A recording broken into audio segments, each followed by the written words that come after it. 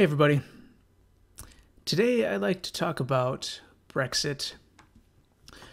To be upfront and to let you know my biases before we get into the subject, I support Brexit. I support the UK's uh, decision to break ties with the EU. When I think about the EU, I conceptualize it in maybe three three pieces. It's useful for me. I don't know how useful it is for for other people. But the first piece is the free trade portion of it and the ability for people to move across national boundaries uh, freely without a passport.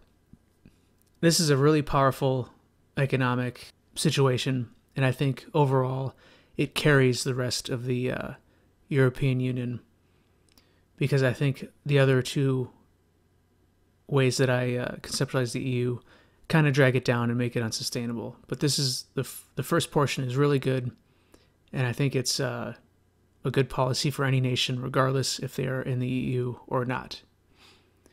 The second part is the, I guess we could call it like the bureaucratic arm of the European Union, the part that uh, sets trade standards, imposes social legislation, and uh, other regulation that you would imagine would normally occur at the national level of a government. And this part seems a little superfluous because why can't each independent nation make their own rules and or negotiate with other countries to create standards for trade or legislation that's appropriate to their country and their culture. The third part is I guess we could call it the monetary policy.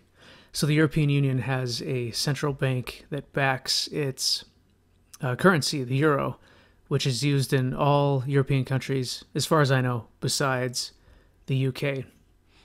And the problem here is that uh, central banks are imbued with a lot of power. And a lot of the problems that I'll describe here briefly apply to the United States with the Federal Reserve. Excuse me, the Federal Reserve.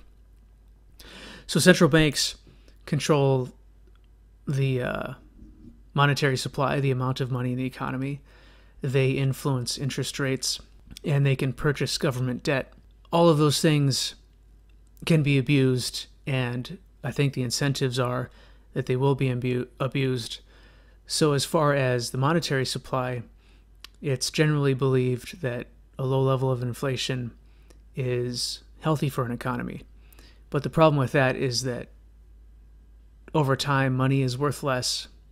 And so the incentive is for people to spend their money instead of save it. And this, a lot of times, puts people in, let's say, a compromising position because they would rather spend their money than to hold on to it, which is rational in a sense because why would you want to put money into a bank account that will be worth less in a couple years uh, instead of purchasing goods with it and enjoying the full value of the money. Interest rates are a tricky thing because they, in a sense, they are the price of money. It, that affects everything from your bank account and how much interest you earn on your savings account in, the, in a given year, or it's the rate of interest that businesses get when they make loans or when they take loans for startups or whatever business purposes that they have. And when interest rates are too low, people don't uh, get rewarded for saving. Like in the US, uh, savings accounts are awarded well less than 1% a year for their savings. And so there's no real incentive to save. And then on the other side of that, businesses uh, decide to take loans on whether or not they believe that they'll be able to pay them back. And with a lower interest rate, it can give them the false impression that they can pay their loans back. Let's just say if it's easier to get loans, well, then more low quality uh, activity in industries will happen because money is easier to obtain. And so this can have negative consequences if a particular industry takes advantage of these loans to a larger degree than what the economy can sustain. This is a subject perhaps for another video. But that's the long and short of it. So there's, in my conception, the EU represents three different parts the free trade, which is amazing and great and should be the standard for every nation. You should be able to make trade agreements on the back of a bar napkin, in my opinion.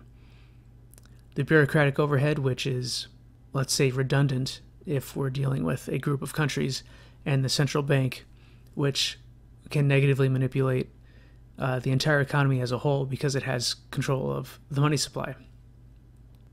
I think it is a good idea for the EU to get out while they can because the EU is probably unsustainable. My layman's understanding of it, I don't think it's sustainable, and eventually it'll probably end. And best to get out while you can before the real bad stuff happens. For the UK, that means that now that they're pulling out of the EU, all they have to do is recreate the trade agreements that they have with them. And that would give them all of the benefits of being in the European Union without having to take the overhead and the monetary manipulation of the EU's central bank. Just a quick caveat. While doing research on the subject, because uh, you know, over the past couple years, I've heard about Brexit and I've I've tracked it loosely but now that it, it's actually happening, I decided to read up on it a little bit more. Oh, uh, by the way, Brexit is officially occurring today, January 31st. I imagine anybody listening to this will be well past January 31st. But so this article right here, and I will link everything I talk about, every article that uh, I've referenced will be listed in the description. There's an interesting history with the UK and its approach to this European experiment.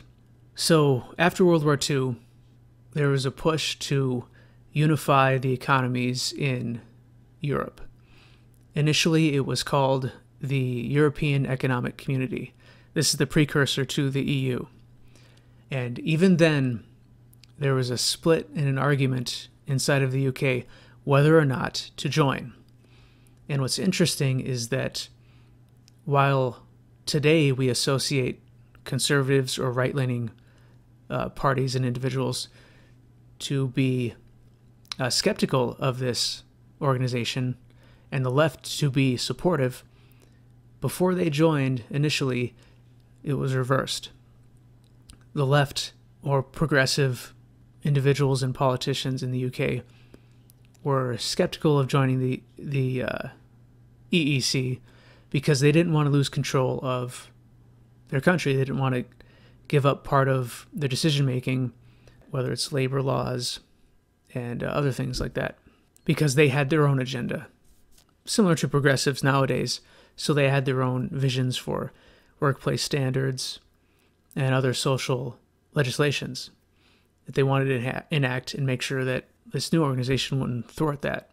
And the conservatives were pro joining the EEC because they felt that either way they were going to have to deal with this new organization and the rules that they set because they would have to end up trading with this with all the countries that are inside of this organization and their conception was well if there's going to be a body in charge of the economic landscape of of Europe. Better be a part of it. Better better to be part of it so that they can influence it, so that they can make sure none of the policies are particularly negative to the UK's interests. And the interesting thing is, soon after they joined, the part the different political spectrums realized, or they flipped. So the leftists figured out that oh, hey, the EEC and the people pushing it are leftists as well. And so the, many of their goals aligned, found ready allies in the European economic community. And the conservatives found out that the influence that they seek to gain was very little compared to the autonomy that they gave up.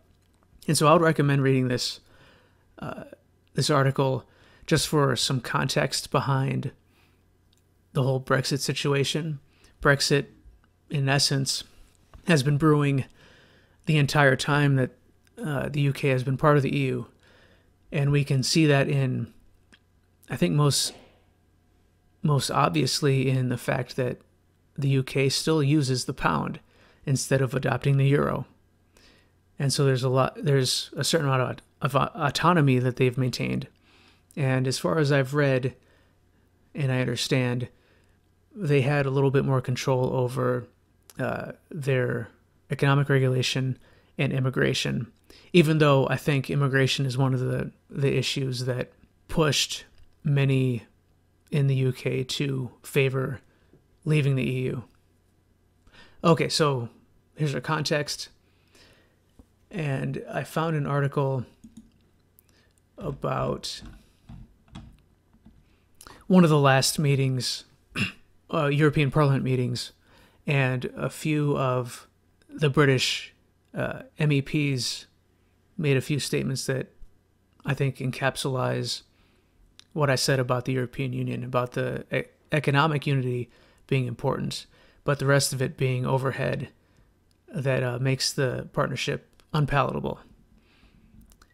And so we'll start off with a statement by Daniel Hannan. And he said that in Britain, let me read, I'll read the whole thing. So, prominent Eurosceptic Daniel Hannan had said opinion in Britain turned against the bloc when it became clear the aspiration was to have the EU as a quasi state. So, this is where the EU is pulling more power and authority into their own body and away from the member states. If at any stage Britain had been able to have a trade only relationship, that would have been enough. He went on to add you are losing a bad tenant and gaining a good neighbor. It's not about uh, sticking it to the EU and being obtuse, separating from the EU. It's more about having a voluntary relationship with it. Uh, also, Mr. Farage, I think that's how you say his name, had a good statement here. I want Brexit to start a debate right across Europe. What do we want from Europe? He said, arguing that trade, friendship, cooperation, and reciprocity between the nations could be achieved without all of these institutions and all of this power. And I feel that's a very reasonable thing to say. But the people that support Brexit, the opinions between them obviously is a wide range of beliefs, and you have your bad actors who are probably to a certain extent racist and want to be separate. But I think for the majority of people, is they've seen that democratically speaking, they've lost uh, a certain part of their rep- representative government. I think one of the arguments that people make against the EU is that there are a bunch of unelected bureaucrats in Brussels. And I did some research about how exactly these bureaucrats gain their office. And it does appear that by the by and large it is a democratic process.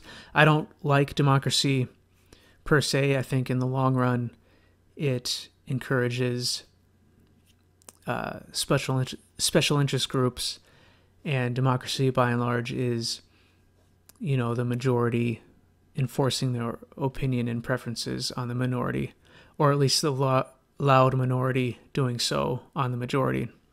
But a lot of people like democracy, and so we'll, we'll speak about it in those terms. So in the UK, they elect, and actually across the EU, the citizens elect representatives to the parliament. The parliament elects a parliament president. There's the another part of the EU is the European Council, which is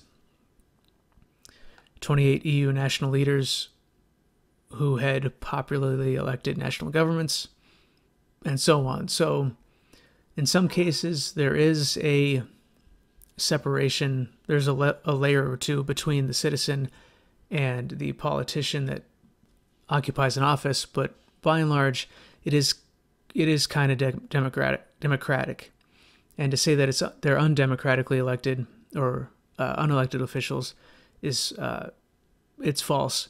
But I think it's also true to say it would be untrue to say that um, the European Union is completely democratic. And I think this is by and large rooted in the idea, and I think most people would agree, that the EU is a collection of nations. And so typically in a nation, you have the citizens voting to elect politicians and to influence them to doing things and to represent the will of the people. Well, this starts to break down when policies that affect your nation directly are affected by voters in another country, let's say, because the EU, while I think it is aspiring to be like the federal government in the United States, that's not how that's not how it is as far as I understand it. And so for a bunch of people outside of your country to elect politicians to a, a position to make decisions that affect your country, even if you don't want those rules applied to you, does smack of being undemocratic and unrepresentative. And so I think it is unfair for people to also say that you know, leavers or people who support Brexit are completely wrong when they say that it is unrepresentative, it's undemocratic what's happening in the EU. So I said earlier that the UK's main hurdle will be recreating the trade agreements that they enjoyed and prospered from under the EU. And I think there is reason to believe that they will be able to. So it sounds like the leadership in the UK now are in a position to negotiate for a deal, a free trade deal with the EU that is similar to what they enjoy now. While today the the UK is no longer a part of the EU, they have a year to negotiate uh, trade deals and figure out all the particulars for how they're going to interact with Europe. And it's it looks like, according to this this article here, that it, there's a real possibility that the UK does have enough leverage and standing to negotiate a good deal with Europe. And why not? Because uh, England has a decently sized economy. By leaving the EU, uh, they're not going to get the uh, whatever money and funding that the UK supplied to the EU while they were a member, a member. And one way to make up for that is to have a healthy trade relationship with them in lieu of being able to extract resources directly from them. And then also another big uh, positive the UK is has been one of the US's biggest allies for a long time. And we're natural allies. And so why wouldn't the UK be able to make a really good trade deal with the US. Loosely speaking, you can say that the populist movement in the UK is what brought about Brexit, and the populist movement in the United States is what brought about uh, Donald Trump. I am no Trump supporter. I didn't vote in the last elections. If he gets impeached, which uh, it looks like he he won't be, but it's no skin on my back. I I have no sympathies with their ilk, but the sort of conservative populism that you could identify in both places, I think makes a trade deal even more likely between the two. And because the United States has a huge economy, it would be very beneficial. And if Britain can nail tra- trade deals with the UK and the US, I don't see any reason why in the next few years they will see much more prosperity than they did under the EU, if not the same. There are a few positives for the UK leaving Europe And so I'll just quickly run through a few of them. For those that are on the internet a lot, I'm sure you've come across or heard about Article 13, where the European Union wants to make uh, tech companies who host a platform on the internet to be responsible for any copyrighted material that is posted on their platform. And so that's uh, obviously a huge burden on tech companies to be able to scrutinize a great deal of content accurately. And also, it's a pretty blatant attack on free speech. It's kind of a, a subsidy or a a favor for corporations to police uh, their IP, even when people are using it to express a variety of ideas, to parody, to create their own unique uh, content out of all this stuff. And so now the EU or the UK will not have to implement this this uh, opaque, difficult to enforce uh, law. And so I don't know how Article 13 will play out in the EU. Maybe it'll be more lax than I imagine. Maybe it'll it'll play out without uh, harming communication on the internet too much, or maybe it will. But either way, they can judge a lot of this crazy stuff from the uh, European Union. Uh, apparently, there's a struggle over who gets to use uh, UK fishing waters. Apparently, under the European Union, they had to allow other countries like France to fish from their waters. And so they get their sovereignty back. And I admit I do not know who is a better steward of the waters, but generally I prefer decentralizing authority and allowing uh, local organizations to be in control of the resources around them. So I, I see this as generally a, a positive thing. Uh, one last thing they will get to control uh, immigration into the UK to a much much greater extent.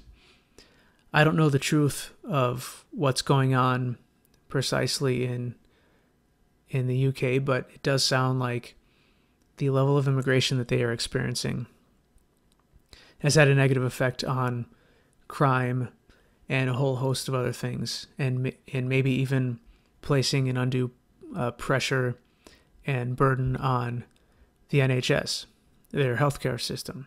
A country being able to determine how many people enter their country in a given year is better than uh, a super state deciding it. I would prefer that to be decided by uh, individuals on the ground and dispersing that power as much as possible, and people moving from one place to another on their own power or by whatever voluntary means they can do. But this is a move in the right direction as far as I'm concerned.